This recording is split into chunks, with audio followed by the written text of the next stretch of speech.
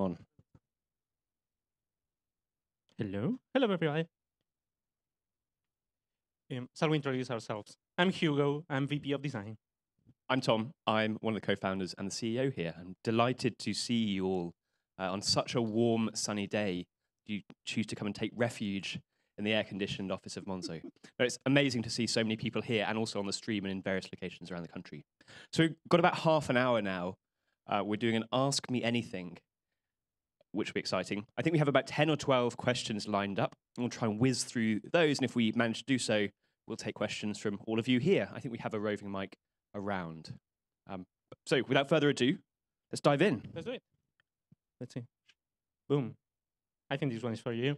At Yeah. what point? Let's read them because. Um, Okay. At what point did you think, uh, you know what? I'm gonna start a bank. Um, what was uh, what happened to you basically? is there a story to be told? Yeah. Um, so I, before Monzo, I, um, with two other um, guys from university, I started a company called GoCardless, which was, uh, at least became a payment processor, a direct debit payment processor, collecting recurring payments for small, medium, and now very large businesses. And it was really, really interesting for a number of reasons, but I wasn't very, very passionate about direct debit processing for small and medium businesses. Businesses, as strange as that sounds.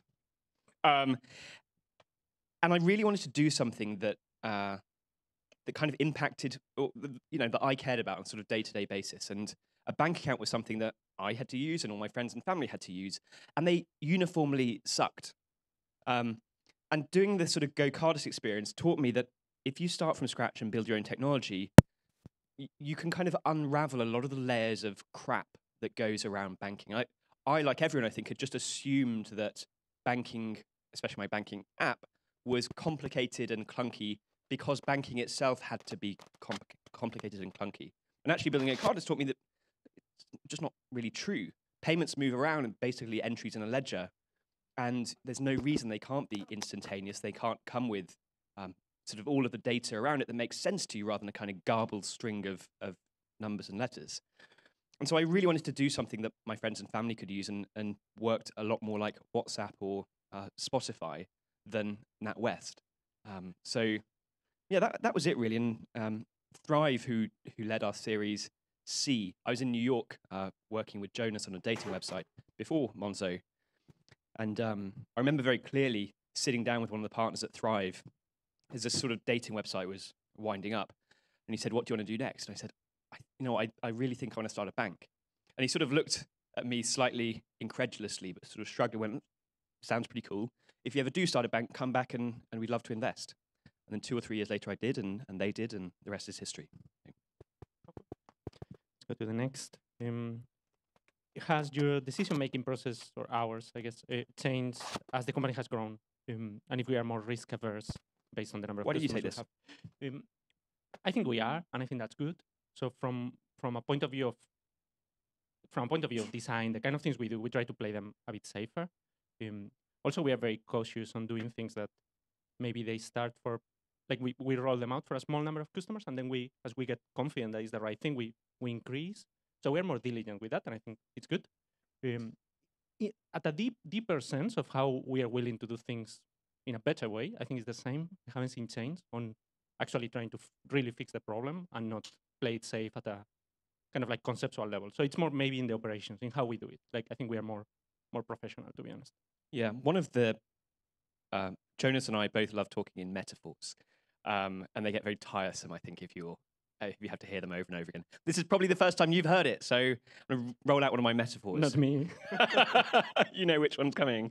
Um, so I think the the my current favorite metaphor is is a Formula One car and a, the pit stop of a Formula One car.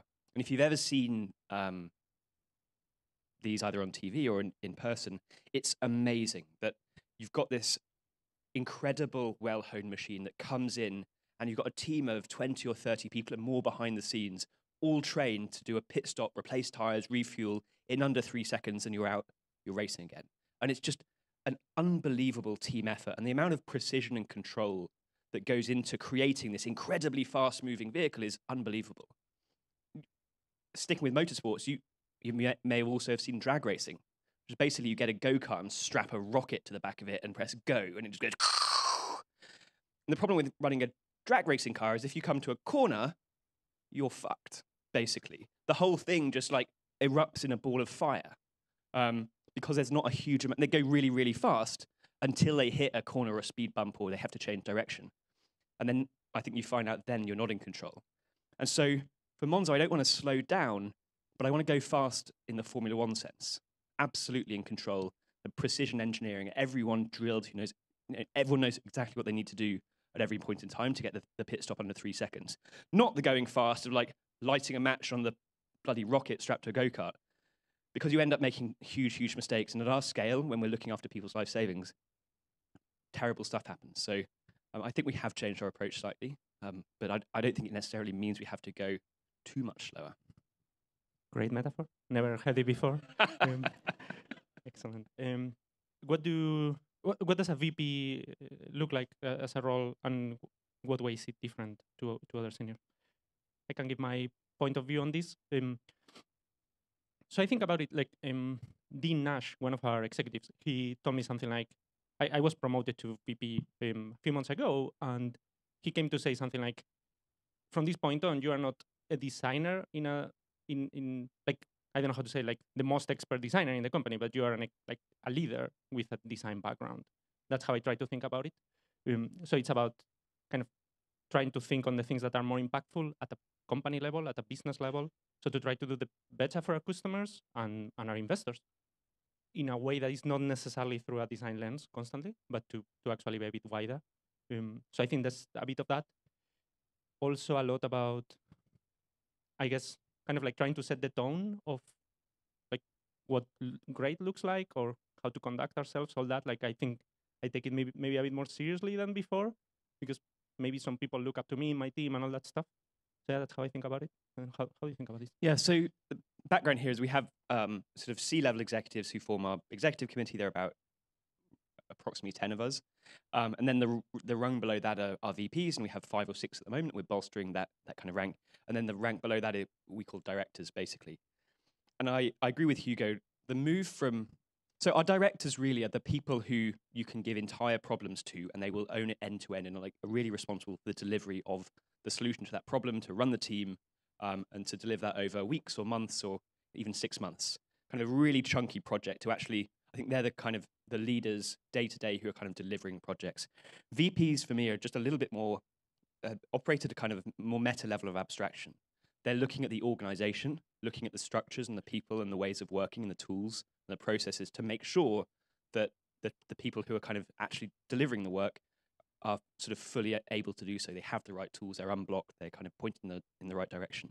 So it's a it's an interesting mindset mindset shift to go from someone who's like doing, doing, doing, delivering, really responsible for fully responsible for delivery of the thing every day, to someone who's just a little bit more abstract, looking at kind of looking at the organization, the machine that then builds the end Monzo product. Does that make sense? This one is for me. Um, go away. Um, it says uh, how much input I, I still have on on the actual design of the product and if I'm hands on and if it's a part of, of my job. So it depends. I think I I'm, I'm not like I kind of design through uh, spreadsheets kind of thing. Right? Like my my job is more like talking with people, communication, and keeping people productive and happy. Um, I sometimes get involved when when I have more context, just because I've been here longer. So Great. I've been here since day one. Um, so particularly things that are structural in the app. So some of the changes that uh, Beth um, and Bruno were showing before, um, I get involved on that because I, I think it's it's I, I can add some value. And the same with our cards. So all these um, like Monzo Plus cards, stuff like that, I get involved. Um, but I'm not usually actually designing things. Um, our design team is way way better than, than I was as a designer, so that that wouldn't make sense. It's it's more about maybe in a whiteboard, maybe inspiring someone, or kind of unlocking problems, th- that kind of stuff. So it's it's quite cool actually because then things happen in parallel. It's it's super nice. Um, you don't know what that is. You're not a designer. Somewhat, we were talking about the design of the new Monzo business cards. Do you remember this Fu last week? Um, no, Monzo credit cards. It was Monzo credit cards. Um, this is going to upset you. Um, So we'll give the designers three or four weeks, and it'll it'll say Monzo, and then next to it in lighter letters it will say credit. And then I was like, ha ha ha, aren't I clever? And then everyone went quiet, and I was like, is, is that actually what we've done? Kind of went, uh, no, I honestly, I design is the skill that I have least. I think um, of of all of the different skills going into this company, uh, and so I have huge, huge, huge respect for the designers because I absolutely could not do their job, except for the Monzo credit card, which we're exploring and it's not a, an announcement. All right. Definitely exploring. Very good. Um, what will be the next country and after the US, and if the app is built for multiple languages? Um, so 95% of our focus is on the UK. Really, 95% of the people, the time, the money, um, the, the effort is on the UK. 5% right now is the US, and 0% is any other country, being really frank. The choice basically would be either Europe or, or sort of Commonwealth countries, basically, Canada or Australia. Um, and that's not a decision we've made. Um, right now, it's yeah, 95% UK, 5% US. Is the app built for multiple languages? Uh, I can answer that if you want. So lo- localization, it's think think about it in terms of like multiple languages and multiple currencies. Um, at a design level, it is like we've we try to do everything that works, like right to left, left to right, different currencies, numbers that are super long. Like all that stuff is covered. The app itself is not built that way, but it, it will be a project. We'll do it. Um, we are doing it in the US. We'll do it in different places as we need to. Doesn't worry me too much. The thing that I think worries me of this is that un- actually understanding how the service needs to run in different places. Like honestly, changing a pound sign here and there, like that's very easy. The the tricky bit here is to say like direct debits that doesn't exist in other places, right? Like what's the equivalent? How that works? Um, what, what cycles of uh, money use people use? Do they use cash a lot? Um, how do they get paid? Like all those things are really the really cool thing, and we are learning that in the US right now. Um, so yeah, the, the technical bit really, I, I think is gonna be on Rails. The way more interesting is the other one, which I hope also will do great. But yeah, it's it's more uncertain, I guess. Very good. Um, so this question is: um, Is it adding more third-party integrations uh, the way for us to to uh, ta- ta- ta- ta, for us to work, or if we are gonna build things uh, by ourselves and then uh, migrate um, for services and technology? Should I have a shot at this? Um, so I think from a technical infrastructure and payments infrastructure point of view, we have been bringing more and more in-house over the last few years, and we are happier and happier the more we bring in-house, frankly. So you may may remember two years ago or so, we had a lot of problems with our card processor. When we were on prepaid, we had a, a number of outages that we weren't we just weren't happy with, and we weren't really in control of, honestly. And so we rebuilt that Mastercard processor in-house, got it certified, and now, touch wood, it's it's extremely stable and, and resilient and high performing. We had an outage about two or three weeks ago when faster payments for a, a proportion of faster payments for about eight hours were delayed or rejected. Again, a very similar thing happened that the, a third party piece of software that sat between us and the payment scheme um, basically took an outage. Um, and we made the commitment to to rebuild that piece of software in house and again get it recertified. And we hope we hope it'll be more resilient, but in any case, we'll have more control of it, which uh, I- think makes us more comfortable. So, from a technical and payments infrastructure perspective, more and more in house, and as we go around the world, that, that will remain the same. Um, from a product and kind of customer point of view, we've talked a lot about um, Monzo being a kind of hub into which you plug all of the spokes that kind of that that are your financial life. And we've been relatively slow on that, honestly. I think the best example is savings accounts. So we now have uh, two or three, and soon soon more are coming providers offering good interest rates, much better than you get at on the high street banks. And as we go kind of vertical by vertical, whether it's insurance or investments or mortgage switching, I think we need to make a decision whether in that particular vertical it makes sense for us to either do it ourselves, to choose a single kind of best in class provider, as we've done with um, foreign transfers, we use TransferWise, or whether it's useful to have a broad range of providers. Um, so for stuff like uh, insure car insurance, different providers target different population niches, and actually it's quite useful to have um, a number of different insurance providers so that each of our customer segments can get a great deal, whether you're a 19 year old young man or a 63 year old woman. You tend to get different pricing from different providers, and so plugging in a number actually is is pretty useful. So on that kind of marketplace approach, I think we do need to take it vertical by vertical and see what makes sense. Right. Mm, what's the one thing that we miss from those days when we were 50 people staff? Um, now we are about a thousand. To put in perspective, what do you miss? I actually read your answer, and I it's just really small letters, We have, we have speaker notes, but they're like smaller than like one pixel. font Okay. size four. Um, Oh yeah. Do you want to uh, steal it? what do I miss? I I know I won't steal it. Um, you go that. Okay. So what I miss. Um, oh, it's getting bigger. Oh, excellent. Thank you. miraculously got bigger. So knowing everybody's names, this is so like this is the largest company I've ever worked at, um, and it's the first place where I work in a place that I don't know everybody. So there's something really like it's weird because the way we hire, we, we care a lot about um, our values. So t- people are typically like very similar in terms of how nice they are. So it's it's like a Monzo person, but you don't know their name. It's a bit weird. Um, and then having lunch pretty much every day together, everybody, and having socials. So we do socials from time to time. Um, and we could, when we were less than, than 50 or when we were like 20 or 15 people, go, go to, to a restaurant all together. That doesn't exist anymore, right? And it's like, oh, I miss it a bit, I think. Yeah, Yeah, communication uh, for me, I think it's an extension of that. If you're all sitting around a table or in a in a single room, um, getting everyone on the same page and then pointing in the same direction, mixing my metaphors there, um, is very natural. You sort of achieve this mind meld almost when you're kind of 15 or 20 people quite easily. You cross 100 and, and communication has to become much more deliberate. You get to 1,000 and you have to sort of structure organization in certain ways and then even, and we call those collectives. So we have 10 different collectives. Within each of those collectives, some are more than 100 people. And so again, you're having to be deliberate about communication even within that collective. And then cross company communication becomes even harder. And so you just have to think really, really hard about um, the, the processes, the kind of rituals, the tools you use to get everyone on the same page. Um, 'cause i if someone like Hugo or myself feel like we've said it 50 times, well, we probably have said it 50 times, but the person hearing it might be hearing it only for the first or second time. And so it, that is quite an unnatural feeling. That's uh, what I miss. Oh, these are questions from from HR to, to the- Design. I wish I had design. Yeah, you've, you've, and you cannot use that. You've if I could. I, I wish I could sing or dance. Ideally, both, and I can do neither. Um, it's yeah, it's like part of my brain has been removed. Okay. Would you let us be the judge of? No, it's. It's all right. Um,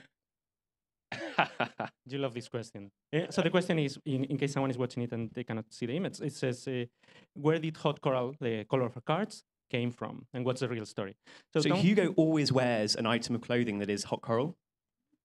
this is not hot coral. This is salmon. okay. um, you know how? this is why I'm not a designer. so. Uh, Tom tells this story of that they had some trainers that were hot coral. That's bullshit. Like What color were they? Okay, forget about that story. Um, how this actual thing happened. Um, have, have you seen? It, it was a mix of many things. So the hot coral cards, this thing that they look so bright, um, it's because it's a very special ink, okay, that reflects ultraviolet light and whatnot. Um, that on its own um, is not common, or it wasn't that common, and it wasn't that obvious that you could have that on a, on a credit card or in a banking card. So when when we started um, Monzo at the beginning, we had the prepaid. Well, we were Mondo, we had the prepaid and we were looking at catalogs of the kind of stuff you could do in plastic cards. Um, banking cards, now they are way better, and I think we've helped on that. They they used to be quite tacky, like the you know like this kind of imagery that they would have and all that. So most of the options were like that. Um, but in gift cards, people were doing better stuff, particularly um, fashion fashion stores. So this was Debenhams. I think Debenhams had a, a range of neon colors, and our provider had had them, and it's like, oh, actually, you can do this. Um, they didn't have hot coral, but they had like some pink, and that connected with something I had done in the past. And we said, okay, this could be a good idea. The idea behind um, was a bit like, have you seen like prototypes of cars when they have them on on the street, but they are not road legal yet? They usually have like very very flashy colors, because the idea is at the beginning, it was a beta or it was an alpha, so that design wasn't meant to, to stay in all honesty it was a, like a one-off thing to say okay look we want something that people every time they use it or people will ask them about and they have now an opportunity to say oh is this thing i'm trying blah blah blah it, it breaks a lot but it seems to be cool um, and then it turns out people really liked it, you really liked it, and we just stick to it. Um, so yeah, that's a real story. But journalists don't like that one that much. So Tom tells the other one, it's more like, oh, it was this crazy thing just happened. And Yeah, and it was Hugo's shoes Yeah, were hot coral. exactly. And he had a deadline and said, I'm going to make it. I'll do that. Whatever. I guess I'll do that. Yeah. Okay, next question. There's no more questions, I think. I just clicked. Is that it? Okay, great. Uh, we have uh, 10 more minutes, so we will take questions from the audience. There are two roving mics. Oh, how cool. Let's go back to. To me first. Okay. Um, you talked a little bit, bit about values you expect from the people you hire. What are they? Uh, this is like an exam question that I'm definitely going to get wrong, so I'll talk about in the abstract about them unless you've memorized all. I do, but no, go on. Go on. uh, why don't you start then? okay. So we have a list. We've. It's interesting. Like we've defined them uh, a few months ago, but I think about it like we've written them down. Like the values were already there. Um, as a company, we were already doing it, but now we have nice wording that hopefully people can remember. Um, uh-huh. Okay, so one, one of them is um, default to transparency. So, and I think with with you is the same. Like every time we create a piece of information, it is transparent by default, and unless we have a very good reason to, to not make it transparent. Um, and that works very well. It simplifies so many things. Like communication, it's easier. Everything is available. So I think one. that is very different. Uh, uh, it's very natural for us, but especially senior people who come from come in from big organizations. That's the one thing that they really remarked. Like, oh, you said you were transparent, but oh my gosh, how like I didn't realize how transparent you actually were in practice, and and then what knock-on effects that has, good and bad. Um, I, so I think that is, you, as a company, you can write stuff on the wall, but unless it's really lived, I don't think it's uh, particularly useful. There you go. Another one is to be hard on problems and not on people. Um, this is something I practice a lot. So we do design critique, um, and it's one of the things that I I'm I'm really hardcore in how I think about design, and I'm tough about design, but not about the designers that have worked on it. So that applies all across the company. So it's we really want to do something better, um, but we want we want it with, with people that, that are happy and empowered to be working on those problems. If that makes sense. Um, another one i'm gonna fuck it up now um, another one is um, to uh, start small but think big and to own problems so is this it's maybe similar to what we were saying before like we are very iterative on the stuff that um, um, jordan and fu were, were talking before so start with small things but with a, a goal that is really really important and that actually solves the thing and to enable people to take ownership of the pieces of work um, so, so nothing is kind of responsibility of other people. It's, if you are working on it, it is your responsibility to deliver something that's of very good quality and works. Um, so that's another one. Um, pa, pa, pa, pa, pa. We have one that maybe is a bit more aspirational. That is to make everybody feel that they belong. Um, I think that has a lot to do with um, inclusivity and diversity. So it's something that it's close to our hearts, but we know we have to do way, way better. Um, so that's in there as well. Um, am I missing one? Make make a difference. Isn't it part of the start small? No, make a difference. Okay, to me it's kind of the same. All right, make a difference. Okay, so that's another one.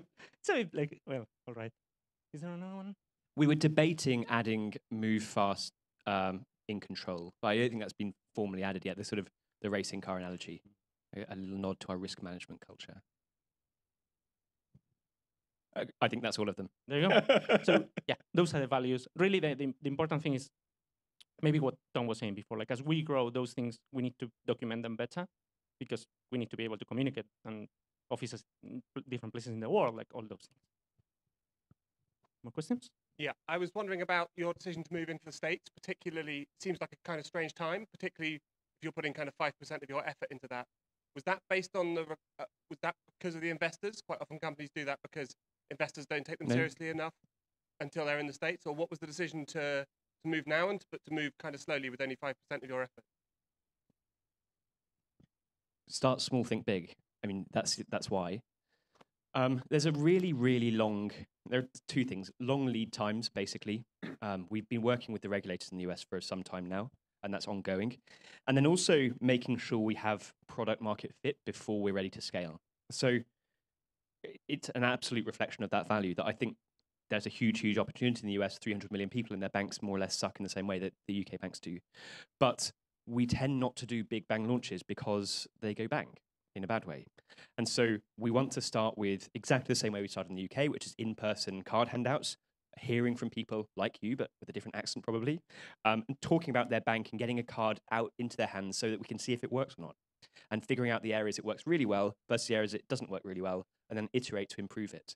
and so I think you can do that really, really effectively with a team of, of 10 or 15 people. It's exactly the way we started here.